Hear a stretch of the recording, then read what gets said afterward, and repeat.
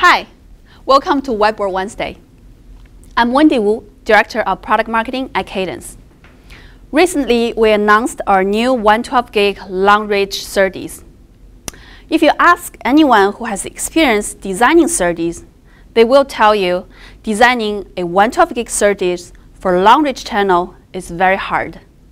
So today, I want to show you why this is such a challenging problem and the innovative solution Cadence provide. So traditionally, SerDes use NRZ signaling scheme, meaning that there are two levels for signals, 0 and 1. And if you want to transmit a, a, data stream such as 00, 01, 1011, the waveform would look like, some, some like something like this. So 00, 01, 11, 0, 1, 1. However, starting from 56 gig SerDes, um, the PAM4 signaling has been required. PAM4 signaling is a multi-level signaling. There are four levels, 0, 0, 0, 1, 1, 1, and 10. So for the same data stream, the waveform you will get with PAM4 is something like this. First, 0, 0, and then 0, 1, and then 1, 0, and then 1, 1. So as you can see, what PAM4 signaling provide is double the data rate without increasing the clock rate. And this is exactly how 25 gig SerDes gets to 56 gig SerDes by changing the signaling scheme from NRZ to PAM4. So this sounds great, right? But actually PAM4 signaling is harder for the receiver to recover. Why is that? You can clearly see it when you put these two signals on a scope. On the top, this eye is an NRZ eye. And the eye is pretty open. You have two levels, and the receiver just needs to make a decision. Is this, uh, is this input lower than a certain threshold? If it is, it's a 0. If it's higher than a certain threshold, it's a 1. However, look at the PAM4 signals. There are three eyes. So the eye opening, first of all, is only one-third of the eye opening of an NRZ eye. On top of that, imagine if you have noise on your signal, then the noise impact to the PAM4, uh, PAM4 eye will be much more profound. So this is one challenge. Let's look at the next challenge, the channel.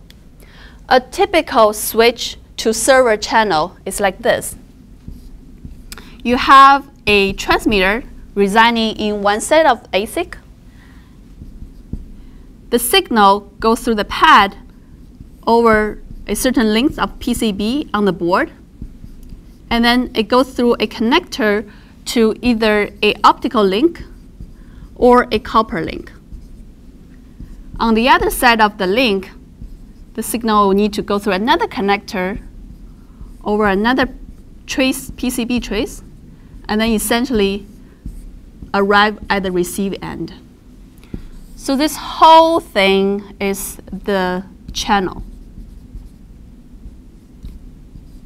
For long-range um, channel especially, um, there are two issues um, in, in transmitting the signal over the channel. Number one is that the signal will get attenuated over, over this, this channel.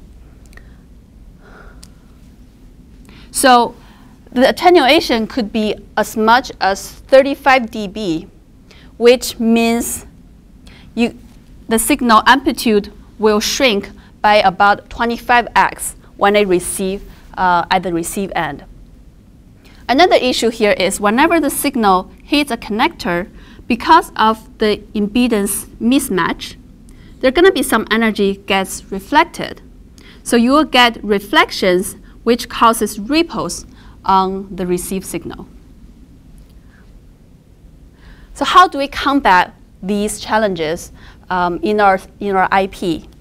Number one, so we, at Cadence, uh, we incorporate a ADC plus DSP architecture for a receiver that implements many tap, multiple type of FFE and DFE.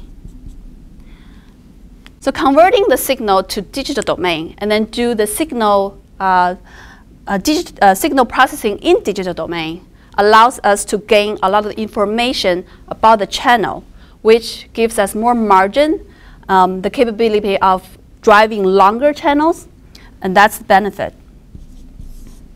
Number two is that for the transmitter, we have a four type of preemphasis and a DAC-based transmitter. This allows us to provide the ultimate flexibility for the transmitter to help the receiver receive the data correctly.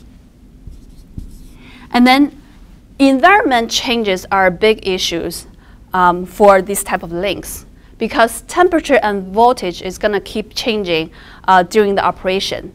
So in our SerDes, we have SNR monitor engine that constantly monitor the link health at the receive end to say, am I still in the optimal position? Am I still in the optimal um, situation to receive the bit correctly? If not, there is automatic adaptation that's continuously ongoing to adjust the receiver to its optimal position.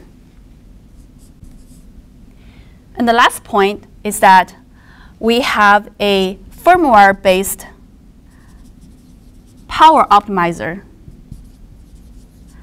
to optimize the power for the SerDes. Because when we have all these heavy equalization engine, the power is going to increase.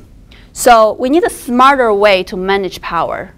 Based on the channel that's presented in front of SerDes, we can actually um, do a better job of trade-off performance and power, and ultimately um, put the power into its ultimate, ultimate stage for its given channel. So thank you for tuning in to this Whiteboard Wednesday. If you'd like to learn more about our SerDes, please visit ip.cadence.com slash 112gig. See you next time.